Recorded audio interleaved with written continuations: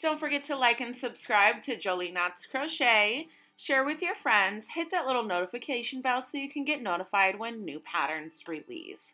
All our videos are available in left and right-handed tutorials. Hi everyone, welcome back to Jolie Knots Crochet. I'm Crystal and today we are going to be making the super simple bat wing sweater. Now this sweater we are going to work from the bottom band up, increasing with V-stitches, and then separating, working back and forth to create our armholes and then seaming up the top. Now, uh, like I said, it's very simple. We're working just V-stitches and increasing on each side. The sizes available in this pattern are extra small to 4X in size. There is a written pattern link at the bottom and I will also leave a link to the old pattern that has the ribbing for the arms. Now keep an eye out because I will have child sizes available and once those sizes are available I will leave the link in the description box below.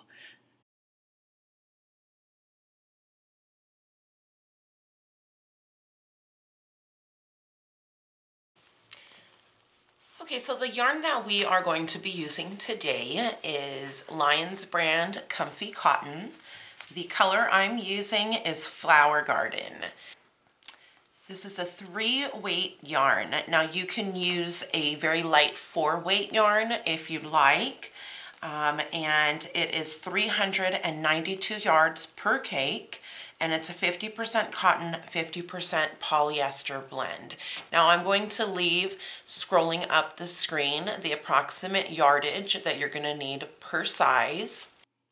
This yardage is for the approximate height of somebody this size. Now, if you are taller or shorter, keep in mind you are going to either use a little bit more yardage or less yardage as this is written for the height of your body as well for this, you are also going to be needing two different hooks.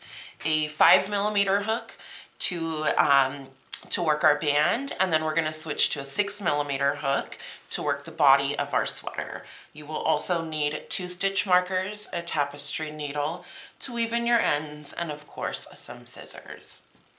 So in order to get started, what we're gonna do is take a slip knot, and we're gonna chain 16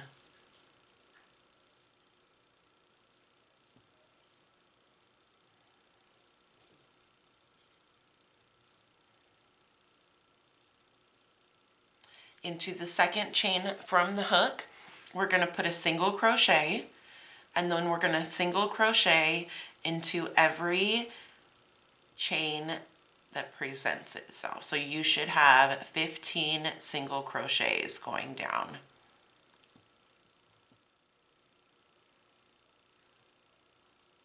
Okay, when you get to the end of the row, you'll chain one, turn your work, and then we're going to back loop only single crochet all the way across the row. This is going to be your repeat row. So you're just going to repeat row two, single crochet into the back loop only for 15 stitches, chain one, turn your work, and continue. Now I will leave scrolling up here the amount of rows that you are going to need per size. Our gauge for our band, you want to make sure that your gauge matches so that your, your band matches um, around your body. This will be um, several inches smaller than your waist. So I will leave the sizing along with the hip measurement um, and you'll really want to go by the hip measurement.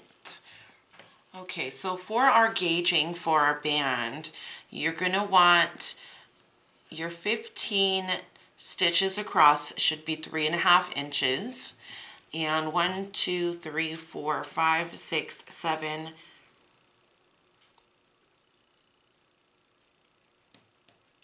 one, two, three, four, five, six, seven, 14 rows.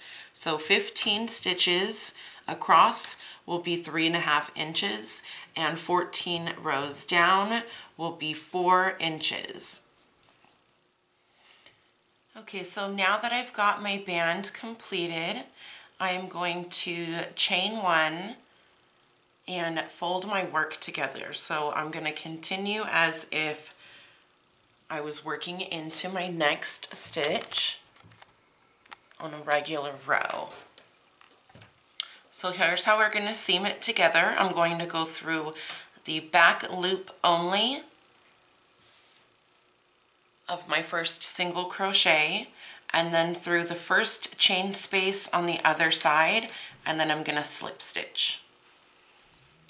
Go through the back loop only, the chain space on the other side, and we're just going to slip stitch like that all the way down.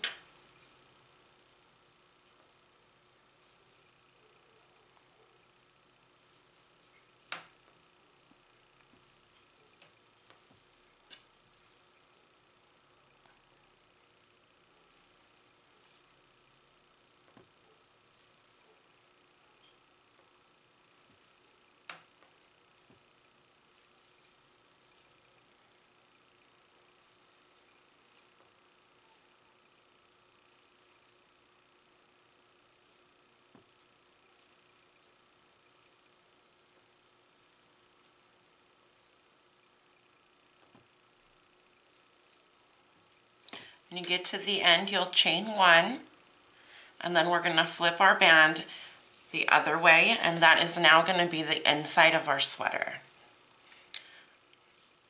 What we'll do now is we are going to half double crochet into the side of every single row.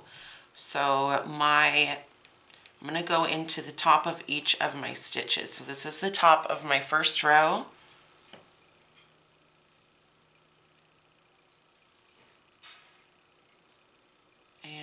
Top of my next row.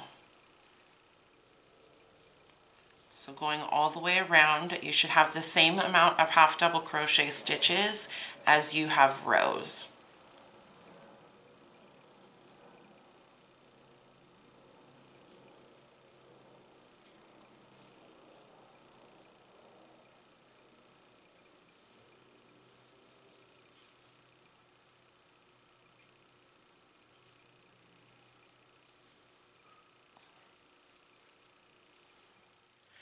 Okay, so I'm here completing my half double crochet row and I'm just going to slip stitch to join. And now I'm gonna switch from my five millimeter hook to my six millimeter hook. And I'm gonna chain four. Now this is going to count as a double crochet and a chain one here and throughout the pattern. I'm going to have, I'm going to double crochet into that same stitch we slip stitched into, and now I've just created my first V-stitch. Now I'm going to skip one stitch and into the next put another V-stitch.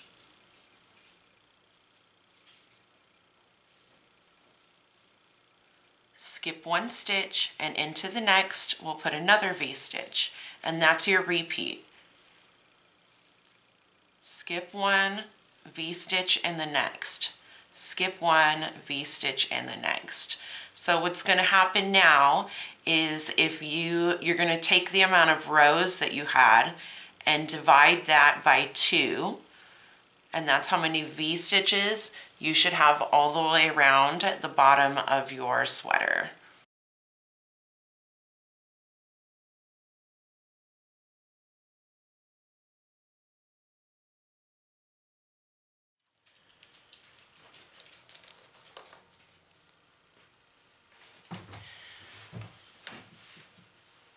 Okay, here I am with my last V-stitch of the round. And I am just going to slip stitch to my first chain four to join. From there, I'll chain four again, counting as my double crochet and my chain one space, double crochet into the same space to create a V, and then continue along with my V's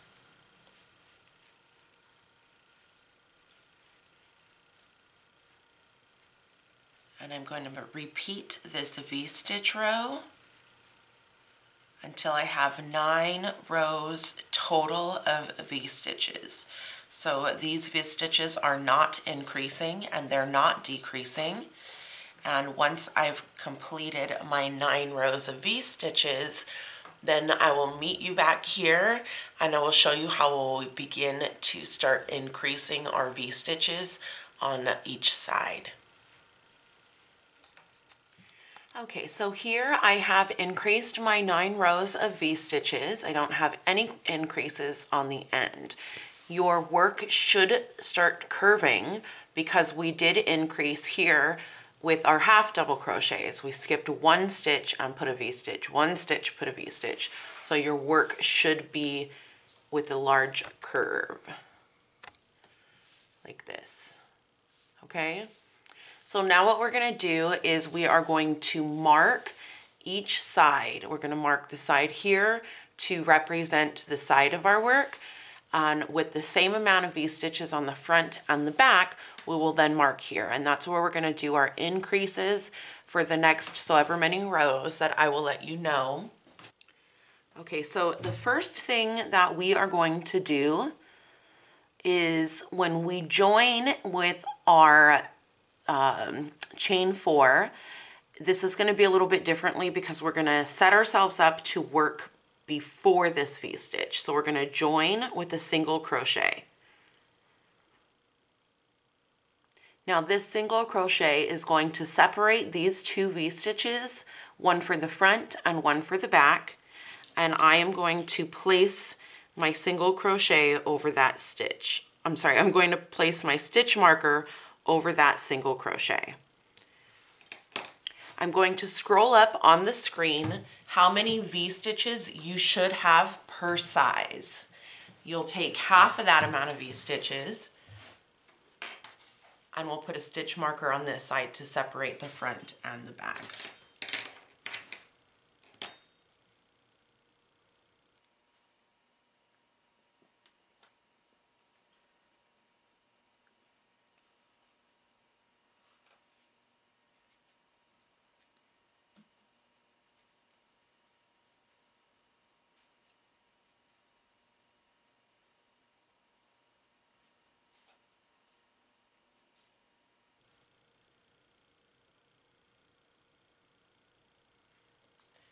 Okay, so here is my last V-stitch of the front and then my last, my first V-stitch of the back. So I'm gonna put my second stitch marker in between those two V-stitches.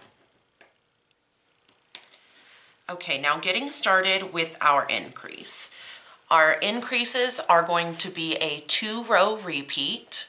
So for each row, we will increase one V per stitch marker.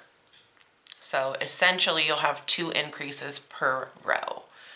So the first increase, the way we're gonna work that is we are going to chain four.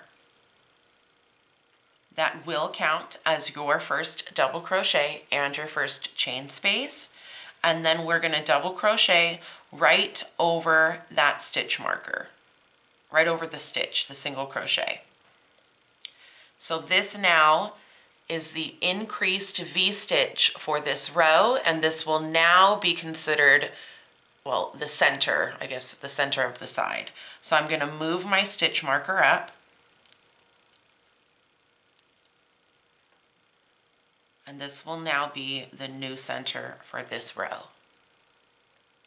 Now working down the front, we will make a V-stitch into every V-stitch to the next stitch marker. So go ahead and do that and I will meet you back over there.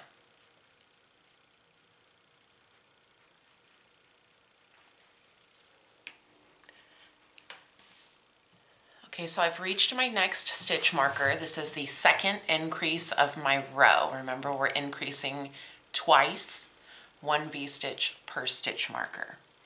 So in between these two V-stitches, that's where I'm gonna add my increased V-stitch. And this is now my center point. So I'm gonna take my stitch marker out and move it up to my new center point, even though it's on the side. Now I'm going to work V-stitches into every V-stitch back to the front where we began and I will meet you back to show you how we are going to join and begin on round 12.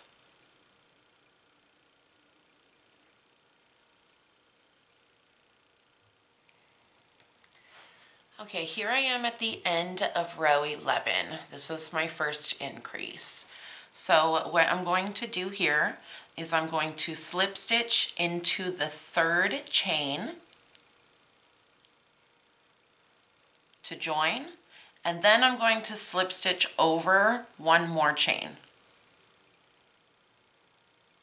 So my increase here, I'm going to turn this one V-stitch into two. So I'm gonna put two V-stitches. However, our first V-stitch is gonna be right now, and our last V-stitch, the second one is gonna be when we come back around. We're gonna work over that slip stitch here. So I'm going to chain four, double crochet into the same V-stitch, and I'm not gonna move my stitch marker just yet. I'm gonna now work my V-stitches on top of every V-stitch down to my next stitch marker. And then I will show you how we work our, our um, increase for round 12.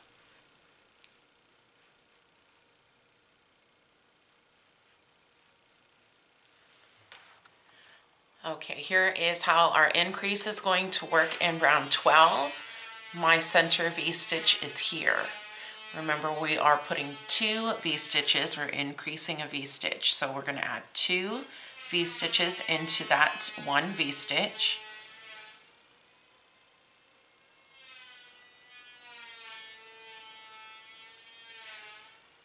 And then what I'm gonna do is move my stitch marker up and place it between these two V-stitches. And when you get to the next round, you'll repeat like we did in round 11, and that's where your V-stitch increase will be. Now I am going to V-stitch into every V-stitch back to the beginning, and I will meet you right back there so I can show you how we are going to join and complete the round with our next V-stitch increase. Okay, here we are at the end of round 12. And this is where we added our first V-stitch into our middle V-stitch. So now we need to put our second one. So just working over that slip stitch, we're gonna go ahead and add our second V-stitch.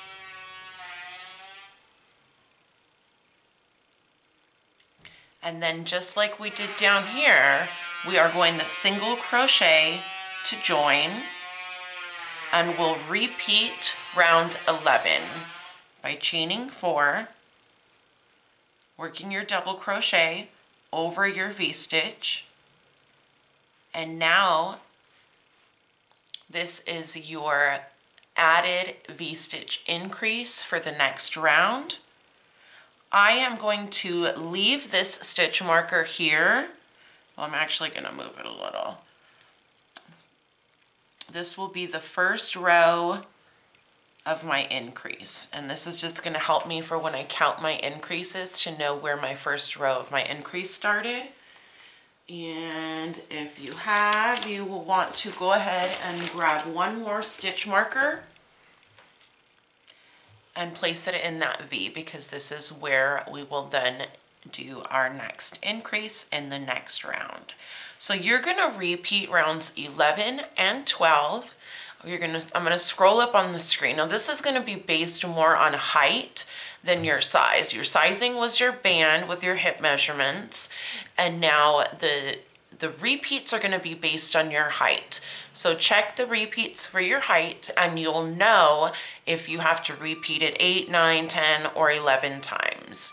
Meet me back here when you're finished with your repeats and I'll show you how we are going to separate panels for our front and our back. Once you are done with your repeats, we're gonna start to work back and forth in separate panels for the front and the back so that we can create an armhole. Now this will not have any increasing or decreasing.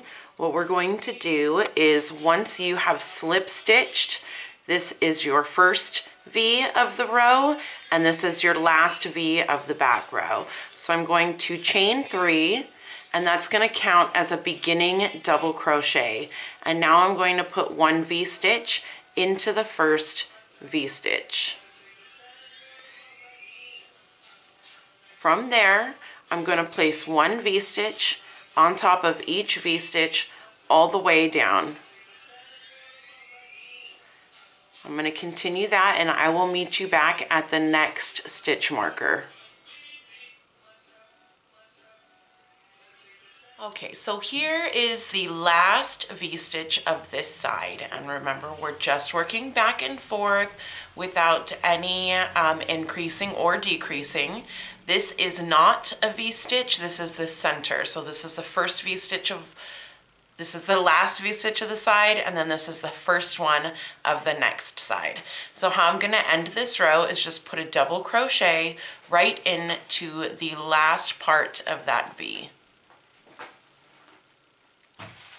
And that is the end of the first row for the amount of repeats that you need for your size. So now we're gonna chain three, turn your work, and we're gonna do the same thing now going back down the other side. So my first V-stitch is going to be in my first V-stitch. And you'll work your V-stitches all the way down for your correct amount of rows. When you get to the end, you will end with a double crochet on top of your chain three and then when you turn your work your first V will be in this V stitch okay so do that for the correct amount of rows and then do it for the other side as well. So you have two sides that are now then split open. And I will meet you back here so we can get started on uh, sewing up the neckline and finishing up all our fin finishing touches.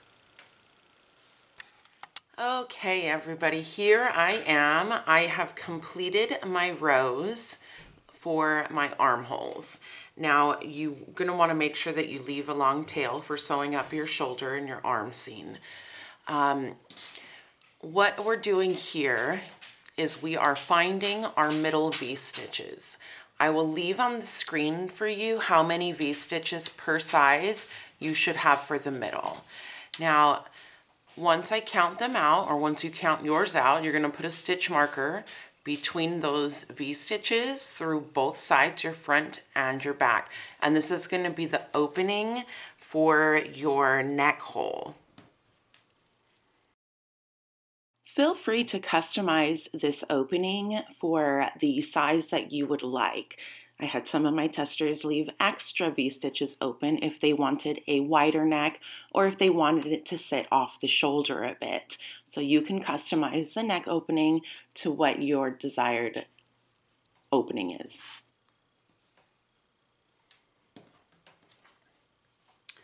From there, we'll move to the side and then we'll begin whip stitching from our arm all the way up to the neck and then we'll do the same thing on the other side. So here's how we're going to do that. So what we're going to do is we're going to take the long tail end that we left and thread our tapestry needle. Starting from our first stitch, we're going to go through the top two loops so through your V-stitch. And then on the other side, one side's going to be a um, double crochet, one side's going to be a chain three, and then we're going to go through the chain three on the other side and pull through. Now we just want to make sure that as we're pulling our stitches through, they don't tangle up. Now I'm going to go through the V-stitch, the double crochet in my V-stitch, and through the double crochet in my V-stitch on the other side. And pull it through. Through my chain and through the chain on the other side and pull that through. Through the double crochet, the V's on the double crochet, and the same on the other side. And you're just going to keep doing that all the way up until you get to your neck, um, the stitch marker for your neck, and you'll do the same on the other side. So I'm going to go ahead and finish this up and we've got one last step to do before we're completed. We're gonna work on our neckline to finish up the neckline. All right, so finish whip stitching your guys's together and I'll meet you right back here. Okay, so I have just completed sewing up my seams for my arms and now I'm left with my neckline. What we're gonna do is we're just gonna finish this up with a single crochet row to eliminate the stretch that it's going to give. Otherwise, it's going to stretch way too much. So I am going to attach my yarn.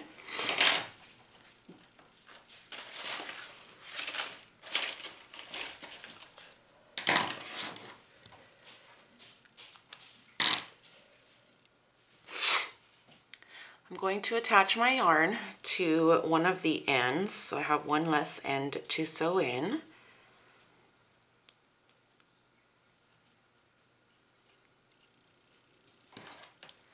And what I'm going to do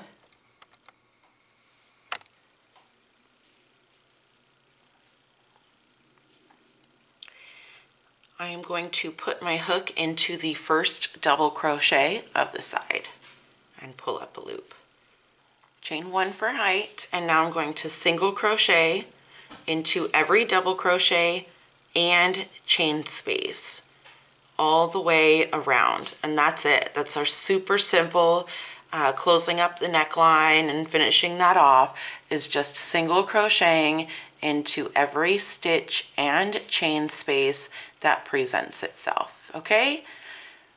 Thank you everybody for watching Jolie Knots Crochet. Uh, don't forget to like and subscribe to the channel. You can follow me on Facebook under Jolie Knots Crochet. And if you're not a member of our Jolie Knots Crochet community group on Facebook, find us and share with us what you've created.